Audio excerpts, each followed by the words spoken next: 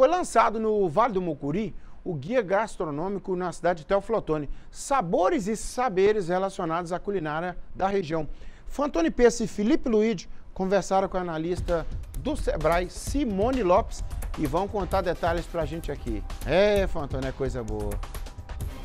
Nicomedes, sobre o lançamento do Guia Gastronômico de Teoflotone, eu vou conversar com a especialista do SEBRAE, a Simone Lopes. Simone, como é que é essa questão desse guia, como é que ele está sendo formatado?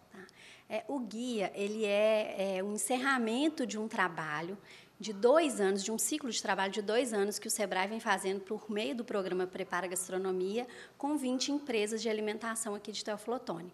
Então, o trabalho ele teve uma série de capacitações e consultorias para melhorar os processos de gestão e de operação desses 20 empreendimentos. E, a partir daí, esses empresários entenderam que eles, trabalhando de forma articulada, principalmente na comunicação deles com o mercado, eles tendem a atrair mais clientes. Então, pensando nisso, a gente desenvolveu esse guia gastronômico, que vai mostrar um pouco sobre esses 20 estabelecimentos e também vai promover um prato que foi criado especificamente para essa ocasião. Então, todos os 20 estabelecimentos receberam a consultoria de um chefe de cozinha especialista que utilizou a nossa pesquisa de identidade gastronômica que foi realizada aqui em Teoflotone para sugerir ideias e propor é, características a serem aplicadas nessas receitas. Então, hoje, a gastronomia de Teoflotone conta com 20 pratos inéditos nesses restaurantes que podem ser degustados por todas as pessoas.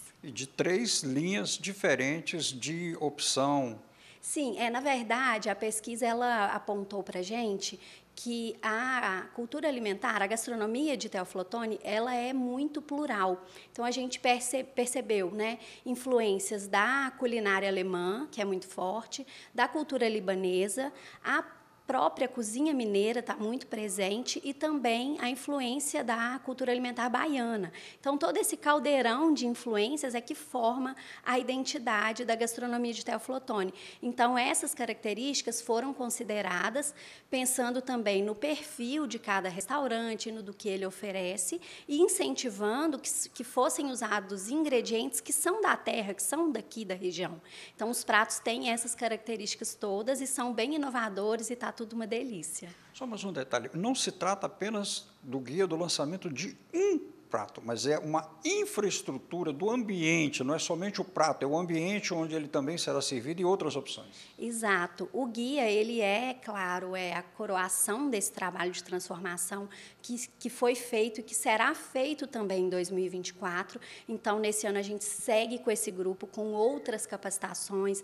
Então, teremos é, capacitações de atendimento, mais consultorias de gestão para melhoria de outros processos. Então, as empresas que estão nesse guia, não é só a divulgação desse prato, as empresas que estão nesse guia são empresas que, em maior ou menor grau, melhoraram os seus processos e tiveram o desenvolvimento por meio desse trabalho. Então, o guia ele também reflete isso. E ele será disponibilizado como? Ele será disponibilizado de forma gratuita. Nós teremos algumas versões impressas que serão distribuídas no comércio local da cidade, estarão à disposição também nos hotéis da cidade e também será divulgada uma versão online para que todo mundo possa baixar e se planejar para conhecer os restaurantes e degustar tudo. Ok. Agradecer a Simone. Mônica Médios, então fica aí à vontade para que você possa, no seu potente, inovador, tecnológico celular, consultar o guia gastronômico de Teoflotone e vir visitar, vir certificar a qualidade do guia. Com as imagens de Felipe Luiz, Fantoni Peço para o Balanço Geral. É com o meu potente aparelho telefone, vou consultar o guia e estou aguardando o Pix chegar ali, Fantoni. É, para comprar também, né?